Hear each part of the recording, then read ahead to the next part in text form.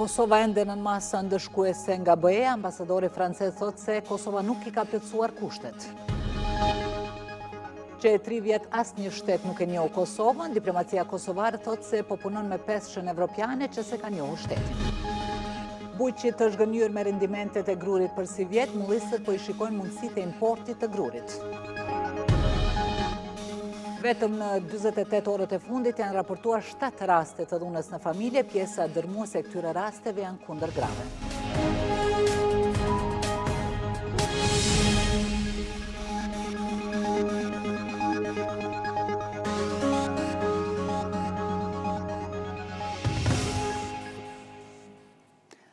Shikues të nderuar, mirëmbrëma.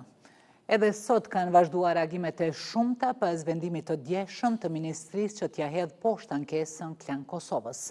Për këtë ka reaguar sot edhe kryeministri Kurti.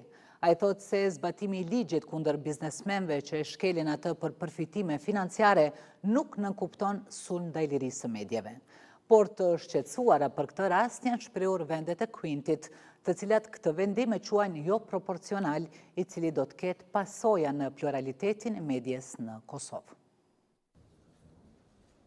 Pas vendimit të Ministrisë së Tregtisë dhe Industrisë për tërheqje të licencës së biznesit, mediumi Klan Kosova, ka reaguar kryeministri Kurti, Në një postim në Twitter tha se ndjekja e rregullave të regjistrimit është detyrë ligjore dhe jo teknike. Ai tha se zbatimi i ligjit kundër bizneseve që e shkelin atë për përfitime financiare, nuk nënkupton sulm ndaj lirisë së mediave. Kosova i ka katërqind e gjashtëdhjetë e tetë biznese të regjistruara, aktiviteti kryesor i të cilave është media, dhe njëqind e katërmbëdhjetë kompani të licencuara audio-vizuele, Zbatimi i rregullave të regjistrimit është detyrë ligjore, jo teknikalitet, dhe zbatimi i rregullave të tilla kundër një shkelësi të vetëm nuk e kërcënon pluralizmin medial, ka shkruar kryeministri. Kurti u ka dhënë mbështetje organeve në kryerjen e detyrave të tyre. Në një demokraci organet e autorizuara për të vendosur për raste të tilla nuk do të ulen në zyrën e kryeministrit. Megjithatë këto organe kanë mbështetjen e plotë të zyrës sonë në kryerjen e detyrave të tyre, përballë interesave të fuqishme të bizneseve të pasur të rreshtuar kundër tyre, porse tha se një sulm ndaj mediave është sulm ndaj demokracisë. Liritë e medias janë jetike, një sulm ndaj tyre është një sulm ndaj demokracisë, por demokracia gjithashtu sulmohet kur biznismenë të fuqishëm shkelin ligjin për përfitime financiare dhe zbatimi i ligjit kundër shkeljeve të njerëzve të tillë në asnjë mënyrë nuk përbën një sulm ndaj lirisë së medias. MINT-i e ka hedhur poshtë ankesën e Klan Kosovës për shfuqizimin e pezullimit të certifikatës së bizneseve të televizionit privat me njëzet e tetë korrik. Pas këtij vendimi ka pasur reagime të shumta. Të shqetësuar për këtë rast janë shprehur vendet e QUINT-it, Shtetet e Bashkuara, Mbretëria e Bashkuar, Italia, Gjermania dhe Franca. Ne jemi në veçanti të shqetësuar me heqjen e licencës së biznesit të Klan Kosovës me një vendim jo proporcional, i cili do të ketë pasoja në pluralitetin e medias në Kosovë. Në komunikatën e përbashkët, ambasadorët e këtyre vendeve kanë thënë se presin proces ligjor të drejtë dhe transparent për zgjidhjen e kësaj çështjeje, Reagime ka pasur dhe nga Federata Evropiane e Gazetarëve, nga Platforma Rajonale e Ballkanit Perëndimor për Avokimin e Lirisë së Medias dhe Sigurisë së Gazetarëve, si dhe nga organizata e mediume të tjera vendore e ndërkombëtare. Do të ndrrojmë tani temë, duket se masat ndëshkuese ndaj Kosovës, Bashkimi Evropian nuk do t'i heqë shpejt. Të paktën kështu ka deklaruar ambasadori francez në Kosovë, duke shtuar se qeveria e Kosovës ende nuk i ka plotësuar kushtet e nevojshme për heqjen e tyre. Olivier Guerot po ashtu ka theksuar se ka vonesa në largimin e policisë dhe përgatitjeve për zgjedhjet në komunat e veriut. Kosova nuk ka shënuar përparim në shtensionim të situatës në veri të vendit pavarësisht marrëveshjes së arritur në Bratislavë javë më parë. Kështu thotë ambasadori francez në Kosovë, Oliver Guerot për Gazetën Express sipas të cilit koha po kalon dhe ka vonesa në largimin e policisë dhe mungesë të përgatitjeve për zgjedhje në katër komunat veriore. Ka pasur disa përparime, por ka ende zotime për t'u zbatuar, për shembull në koordinim ndërmjet Policisë së Kosovës dhe misioneve ndërkombëtare dhe në vlerësimin e sigurisë. Koha po kalon dhe nuk po shohim asnjë përparim, po kështu nuk shohim ndonjë progres as për zgjedhjet e parakohshme, as për miratimin e akteve nënligjore konform nenit shtatëdhjetë e dy të Ligjit të Qeverisjes Lokale për Zgjedhjet. Sa i përket masave të vendosura nga BE-ja, ai thotë se ato nuk u morën lehtë, por që Qeveria e Kosovës ende nuk i ka plotësuar kushtet e nevojshme për heqjen e tyre. Duke folur për Asociacionin, ambasadori francez tha se një gjë e tillë është e nevojshme. Krijimi i Asociacionit është me të vërtetë një element thelbësor. thelbësor për normalizimin e marrëdhënieve ndërmjet Kosovës dhe Serbisë. Ne nuk duam një asociacion të komunave me shumicë serbe që e bën Kosovën jofunksionale. Marrëveshjet e vitit dy mijë e trembëdhjetë dhe dy mijë e pesëmbëdhjetë ofrojnë garanci për konsultimin e Gjykatës Kushtetuese të Kosovës. E inkurajoj Qeverinë e Kosovës që të bëjë një propozim konkret për statutin e asociacionit. Sipas Guerot, gjithë Evropa pret përmirësim të situatës dhe veprime konkrete nga Qeveria e Kosovës dhe se këtë po e kërkojnë edhe Shtetet e Bashkuara dhe NATO. Ai tha se në fillim të muajit shtator duhet të organizohet një takim i nivelit të lartë mes dy shteteve, që i takon lehtësuesit Miroslav Lajçak ta bëjë. Ndërkohë, Serbia po vazhdon t'i mbajë të instrumentalizuar serbët lokalë që jetojnë në pjesën veriore të vendit. Ata hezitojnë të flasin për pjesëmarrjen e tyre në zgjedhjet e reja që do të mbaheshin në veri të Republikës. Disa prej tyre thonë se ende nuk e dinë nëse do të marrin pjesë. Me qëllim të shtensionimit të situatës në veri të vendit, qeveria ishte pajtuar për organizimin e zgjedhjeve të parakohshme në veri, pas stinës së verës. Në rast se edhe këto zgjedhje bojkotohen nga serbët e veriut, Shtetet e Bashkuara të Amerikës kanë paralajmëruar masa për Serbinë. Qytetarë serbë në veri të vendit, të cilët i ka intervistuar RTK, thonë se ende nuk kanë vendosur nëse do të merrnin pjesë në zgjedhje. Nuk e di ende. Ashtu si të vendosin për të gjithë, vlen edhe për mua. Çfarë zgjedhje? Shëndosh me qenë. Analisti serb Branislav Krstiq thotë se organizimi i zgjedhjeve të reja pa një garanci për pjesëmarrje të serbëve do të ishte një dështim i radhës. Administrata amerikane e ka atë propozim edhe ka atë detyrën me u bindë Beogradin, edhe Beogradi me dalë me rekomandimet të serbëve nga veriu, ata me konë pjesëtarë në zgjedhjet e ashë. Për mbajtjen e zgjedhjeve të reja në veri, duhet të largohen kryetarët e zgjedhur më njëzet e tre prill në Mitrovicë të Veriut, Zveçan, Zubin Potok e Leposaviq. Mirëpo, kryeministri Kurti ka thënë se nuk do të ketë dorëheqje të kryetarëve të zgjedhur më njëzet e tre prill, por zgjidhja do të gjendet në kuadër të ligjit për vetëqeverisje lokale. Kosova e Serbia dialogojnë nën lehtësimin e Bashkimit Evropian që dymbëdhjetë vjet. Disa herë bisedimet kanë përfunduar pa rezultate, shpeshherë brenda këtyre viteve dialogu është bllokuar. Tani, kur komplet Bashkimi Evropian, duke përfshirë edhe politikën e jashtme, janë në pushim veror, deri në shtator nuk pritet ndonjë zhvillim sa i përket dialogut. Ka më shumë se një dekadë që procesi i dialogut mes Kosovës dhe Serbisë me mbështetjen e Bashkimit Evropian është duke vazhduar. Gjatë kësaj periudhe palët rrallë kanë rënë në ujdi ndërmjet vete, e takimet më shumë kanë përfunduar pa ndonjë rezultat. Tani kur komplet Bashkimi Evropian, duke përfshirë edhe politikën e jashtme janë në pushim deri në muajin shtator, nuk pritet ndonjë zhvillim sa i përket dialogut. Megjithatë sipas analistëve edhe pas pushimit, dialogu do të ketë kuptim vetëm atëherë kur të ketë marrëveshje finale. Visar Xani thotë se BE do të shtojë presion ndaj Kosovës e Serbisë në intensifikimin e takimeve të liderëve të të dyja vendeve.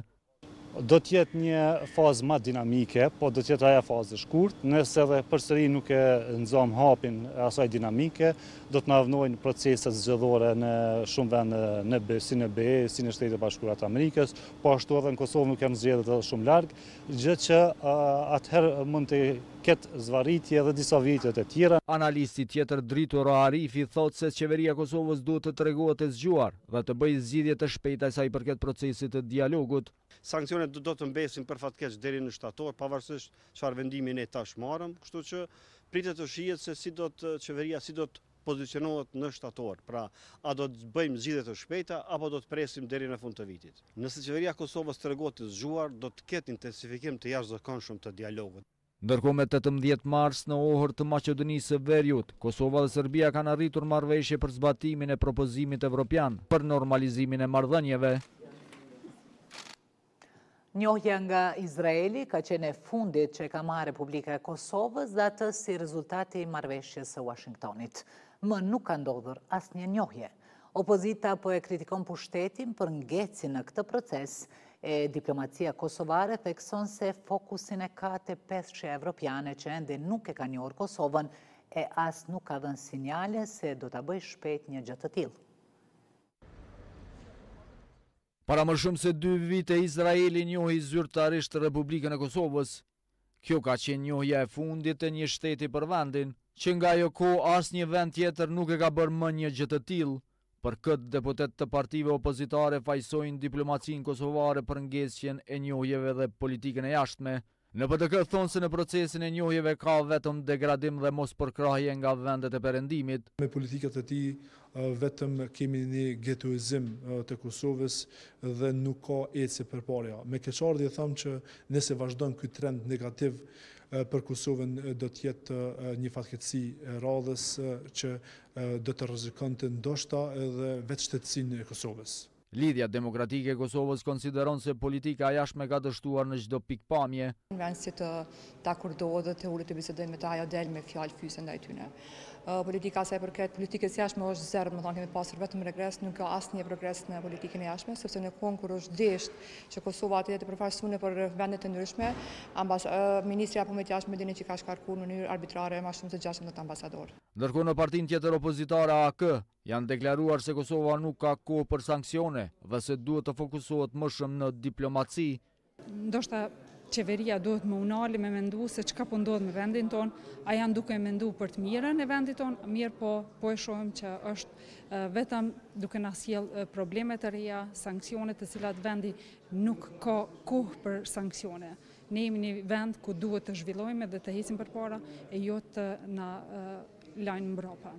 Megjithatë, për këtë çështje në një përgjigje elektronike për RTK-në, Ministria për Punë të Jashtme dhe Diasporë thotë se fokusi kryesor mbetet te pesë shtetet të cilat ende nuk e ka njohur Kosovën, MPJD në kuadër të prioriteteve të politikës së jashtme të Republikës së Kosovës, fokus të veçantë i kushton trajtimit të shteteve të cilat nuk e ka njohur ende Republikën e Kosovës. Në këtë drejtim, MPJD ka bërë një analizë të të gjitha këtyre shteteve dhe specifikave të tyre, duke u përqendruar më shumë tek pesë shtetet anëtare të BE-së, të cilat luajnë një rol kyç në anëtarësimin e Kosovës në BE, NATO dhe organizata të tjera ndërkombëtare. Deri më tani Republikën e Kosovës e kanë njohur njëqind e shtatëmbëdhjetë shtete të botës, derisa Greqia, Spanja, Sllovakia, Qipro dhe Rumania janë pesë shtete anëtare të BE-së të cilat ende nuk e kanë njohur Kosovën, e as nuk kanë dhënë sinjale se do ta bëjnë shpejt një gjë të tillë.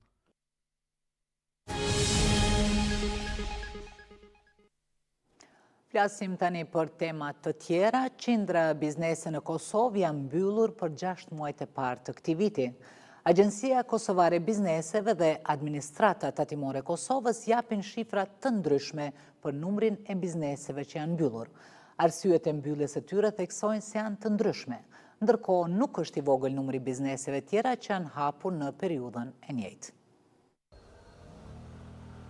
Janë kyçur me dry. Një pamje të tillë si kjo e këtij biznesi në kryeqytet e kanë edhe shumë biznese të tjera në Kosovë. Në vend të klientëve kanë të vendosur mbishkrime si kjo. Tetëqind e tridhjetë e shtatë biznese në Kosovë janë mbyllur për gjashtë muajt e parë të këtij viti. Shifrat janë të Agjencisë Kosovare të Bizneseve. Megjithatë, më shumë është numri i atyre që janë hapur. Këto dy vitet e fundit, nëse marrim gjashtëmujorin e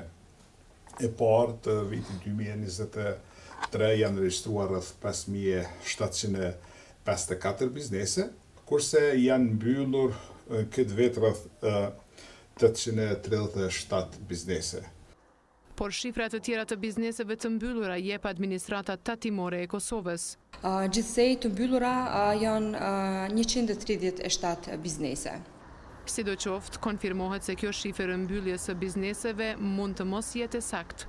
Në të kundërtën, kemi edhe shumë biznese të cilat e kanë lajmëruar mbylljen, mirëpo nuk i kanë respektuar procedurat. Pronarë të bizneseve të mbyllura të kontaktuar nga RTK prapa kamerave deklarojnë se i kanë mbyllur bizneset sepse nuk kanë pasur fitim. E njohës të ekonomisë japin edhe arsye të tjera përse mbyllen bizneset. Çdo ditë kemi kamata të larta bankare, çdo ditë kemi ramje të importeve, çdo ditë kemi ramje të qarkullimit dhe e tëra kjo definitivisht e nga, e rëndon ambientin e të bërit biznes. Mungesa e përkrahjes institucionale është një arsye më shumë. Mungesa e një përkrahje solide nga ana e qeverisë për bizneset të cilat kanë qenë në nevojë, ka bërë që këto të fundit të mos kenë një zgjidhje tjetër përveçse ta shpallin biznesin e tyre joaktiv. RTK ka kërkuar përgjigje edhe nga Ministria e Tregtisë, Industrisë e Ndërmarrësisë në lidhje me arsyet e mbylljes së bizneseve, por deri në transmetimin e kësaj kronike nuk ka marrë përgjigje. Fushata e korrje-shirjeve të grurit përfundoi. Bujqit mbetën të zhgënjyer nga rendimentet që morën sivjet. Pritjet i kishin më të mëdha, por reshjet e vazhdueshme deri në gjysmë të qershorit bënë që të bjerë rendimenti i grurit. Nga Shoqata e Mullisëve po shikojnë mundësitë e importit. Kjo periudhë shënon edhe procesin e korrjes së grurit. Por për bujkun Mehdi Bresilla rendimenti i grurit sivjet ishte i ulët. Diku rreth tre mijë kilogramë i kam nxjerrë prej një hektarit, që aspak nuk jam i kënaqur, se me tre mijë kilogramë as shpenzimet elementare, pa llogaritë punën tonë, as shpenzimet themelore nuk kemi mujt me i nxjerrë. Mirëpo deri diku subvencionet e kompenzojnë këtë sepse me një rendiment prej tre mijë kilogramëve me subvencione do të shkojmë deri katërqind e pesëdhjetë euro. Për dallim nga Bresilla, fermeri Valon Vehapi shprehet i kënaqur nga rendimenti i grurit. Pritshmëritë i kam pasë në bazë qysh ka qenë bima e shnoshë në pranverë, edhe qysh ka qenë bimshmëria e mjaftueshme, i kemi pas mbi mbi 7 ton me konë. Mirpo, ndodhi qysh ndodhi kushtet klimatike, kemi met me 5 ton e gjysmë për hektar. Profesori universitar i bujqësisë, Imer Rusinovci tha se mesatarja e prodhimtarisë në nivel vendi pritet të jetë e ulët, e pritjet e shoqatës së mullisëve ishin më të mëdha. Patëm reshje kontinuele të shiut në mars, prill, maj dhe njëmbëdhjetë ditë të qershorit radhazi, që ndikoi në prolongim në shtyrje të të mbjellurave pranverore dhe zgjati shumë afatin e korrje-shirjeve të grurit, përveç që ndikoi në sasi edhe në cilësi. Korrje-shirjet nuk kanë qenë aq të kënaqshme, si në rendiment edhe në kualitet. Kjo më tepër ka ndiku te fermerët tanë të cilët kanë prit, kanë pas pritje shumë më të mëdha.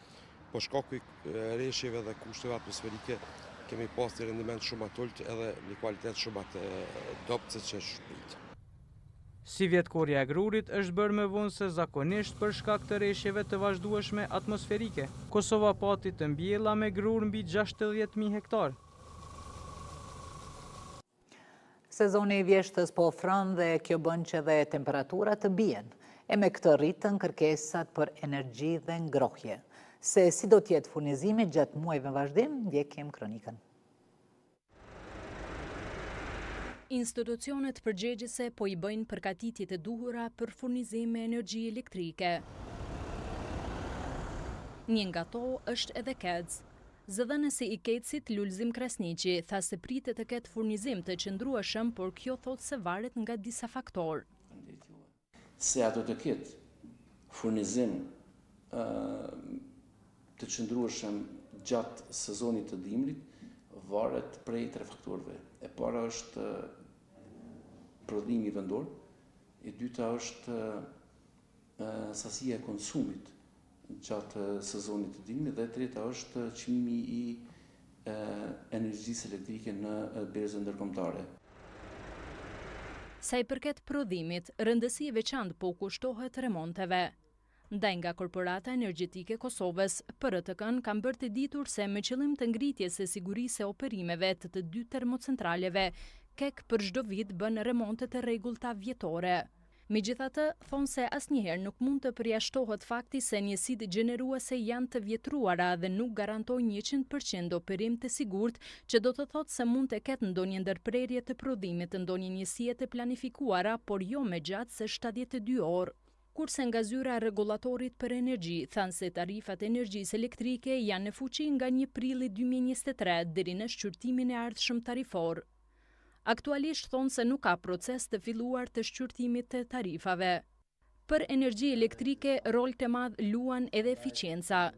Në lidhje me këtë, ministrja e Ekonomisë, Artane Rizvanolli, gjatë një tryeze diskutimi, theksoi se Qeveria e Kosovës e ka prioritet efiçiencën e energjisë. Vetëm në vitin dy mijë e njëzet e tre, Ministria e Ekonomisë plus Fondi i Efiçiencës për Energji parashihet të zbatojnë katërzetë milionë euro investime vetëm gjatë këtij viti. Sivjet, në bashkëpunim me Fondin, që i ka kompetenca teknike sa i përket sigurisht më të larta sa i përket anës teknike të menaxhimit të projekteve të tilla, e kemi dizajnuar skemën për investime në efiçiencë në shtëpi private, e cila do të lansohet gjatë këtij muaji, së bashku me skemën për pajisje efiçiente nga Ministria e Ekonomisë, e cila do të zgjerohet edhe në pajisje të tjera. Rizvanolli gjithashtu tregoi se për herë të parë do të fillojnë edhe me skemën për mbështetjen e bizneseve të vogla dhe të mesme. Masat pritet të hapen gjatë këtij muaji. Sa i përket mbështetjes tutje edhe nga Ministria e Financave, RTK nuk ka marrë përgjigje nga kjo e fundit.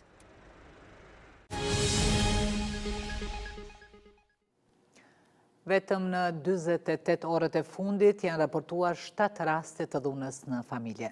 Pjesa dërrmuese e këtyre rasteve janë dhunë kundër grave. Me gjithë bashkërendimin që bëjnë institucionet e vendit në zbatimin e ligjeve dhe politikave për parandalimin e dhunës në familje, dhuna ndaj grave është fenomen në rritje prej vitit në vit. Me gjithë thirrje që dhuna në familje të trajtohet me prioritet nga të gjitha institucionet dhe thirrje Për ndalim të këtyre rasteve, shifrat po rriten. Në gjashtë muajt e parë të këtij viti janë shënuar një mijë e dyqind e shtatëdhjetë e dy raste të dhunës në familje, njëqind raste më shumë se në gjashtëmujorin e parë të vitit të kaluar. Numri më i madh i këtyre rasteve janë gra. Në Ministrinë e Drejtësisë janë të vetëdijshëm se ky numër është më i madh. Shumë gra në Kosovë jetojnë duke përjetuar dhunë sistematike dhe nuk e raportojnë atë. Besojmë që shumë a shumë ndodh dhuna. Por ajo që ne e vrejmë, sidomos në këto vitet e fundit, është rritë vedia e qytetarëve, në veçanti të grave dhe vajzave, të cilat janë viktima të dhunës në familje, për të raportu rastet e dhunës në familje. Natyrisht që për ne është shqetësuese kaq numri i madh i rasteve të raportuara si raste të dhunës në familje. Për shoqërinë civile, dënimet e vogla dhe tendenca për fajësimin e viktimës mbeten shqetësimi kryesor. Ekziston tendenca e minimizimit të dhunës, ekziston tendenca e fajësimit të viktimës që bëhet fillimisht ndoshta në stacionin policor, ku gruaja shkon edhe raporton dhunën. Vendimet që gjykata jep për ushtrues të dhunës kanë qenë me denime alternative, denime me kusht dhe kjo ka ndiku që këta ushtrues dhunës të bëhen raste recidive apo raste që përsëriten. Me dënimet e vogla nuk pajtohet as këshilltarja e ministres Haxhiu, megjithëse thotë se ky është vendim i gjyqësorit. Denimet janë të janë të ulta, por këto janë procese, procedura të cilat shumë a shumë bien në domenin e gjykatës. Autoritetet në vend shqiptojnë gjoba të ndryshme për dhunë në familje, përfshirë burgimin me kusht, me gjobë apo denime efektive. Në pesë vitet e fundit, në organet e rendit janë regjistruar tetë mijë e gjashtëqind e tetëdhjetë e tetë viktima të dhunës në familje. Sonte mbahet koncerti New Generation, duke filluar nga ora njëzet në amfiteatrin e ri të Bibliotekës Universitare. Festivali Ndërkombëtar i Operës, që mban emrin e tenorit të mirënjohur kosovar Ramë Lahaj, po sjell para publikut shqiptar emra të mirënjohur të muzikës operistike. Tash një javë, studentët e këtij festivali kanë përvetësuar mjeshtritë profesionale të maestro Francisco Araiza. Muzikantët e mbrëmjes New Generation janë përzgjedhur nga vetë maestro Araiza, një profesionist i fushës dhe një artist me vokal të jashtëzakonshëm.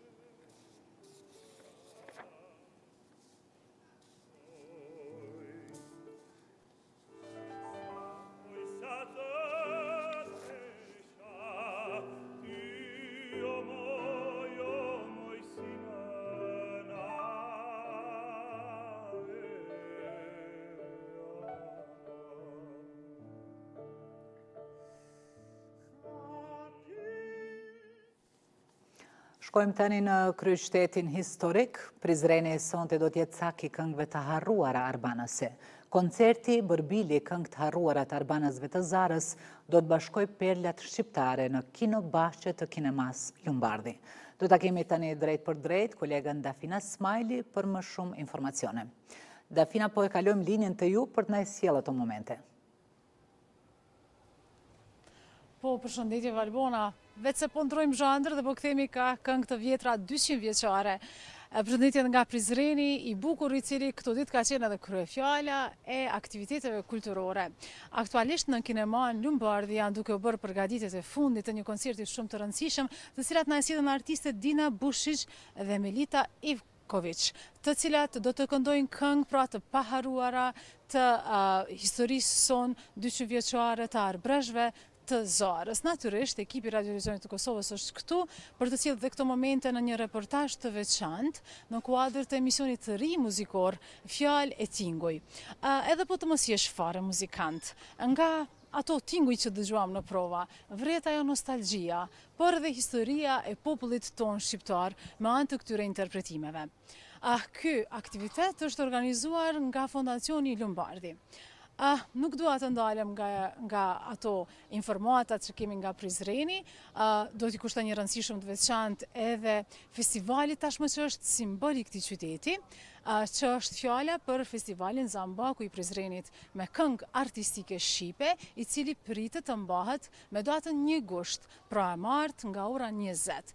Dhe Festivalin Zambaku i Prizrenit tashmë është traditë që Radio Televizioni i Kosovës të ketë në transmetim direkt pikërisht nga kjo e njëjta hapësirë pranë Kinemasë Lumbardhi. Këto janë informacione të shkurtra sa i përket dy aktiviteteve të rëndësishme kulturore nga Prizreni.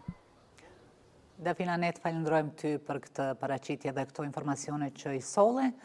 Tani vazhdojmë nga Prizreni me një lidhje të drejtpërdrejtë këtu në kryeqytet, ku ka nisur festa e motoristëve, e cila po përcillet me performancë e muzikë nga artistët tanë. Do të lidhemi tani me nënkryetarin e Federatës së Motociklizmit Fidan Ameti për më shumë informacione. Fidan përshëndetje dhe mund të na flisni më shumë për këtë fest, cili është qëllimi kryesor? Përshëndetje, kjo e kërfest qëllimi kryesor i kësaj feste motorash është bashkimi gjithë motoristave në troje shqiptare, po edhe ata jashtë troje shqiptare cilët jetojnë në shtete të ndryshme të huaja. Po më dëgjon?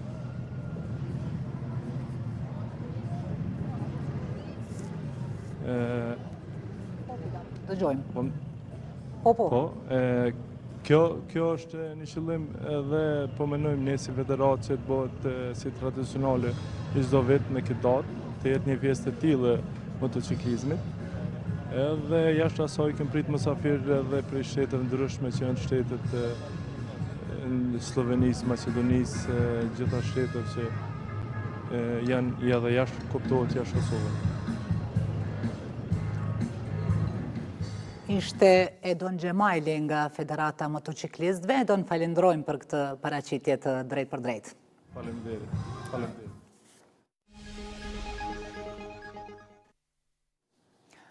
Kreu i qeverisë polake tha se sipas raportimeve të fundit, një nga grupet wagneriane që kishte rreth njëqind mercenarë mbërriti në Grodno afër kufirit polak dhe lituan.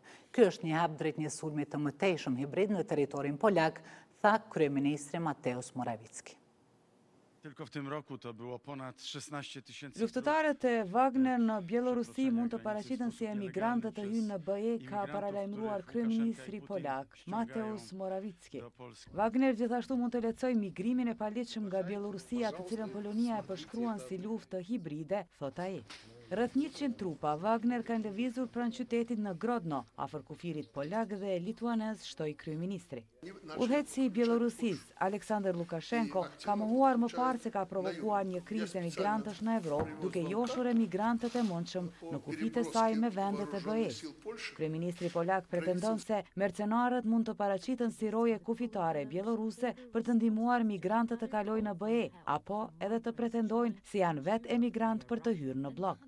Të enjten, ministri i Brendshëm i Polonisë tha se vendi i tij, Lituania dhe Letonia mund të vendosin së bashku të mbyllin kufijtë e tyre me Bjellorusinë nëse do të kishte incidente që përfshijnë grupin Wagner përgjatë kufijve të tyre. Polonia dhe Lituania kanë ngritur gardhe përgjatë kufijve të tyre me Bjellorusinë në përpjekje për të reduktuar numrin e njerëzve që kalojnë ilegalisht.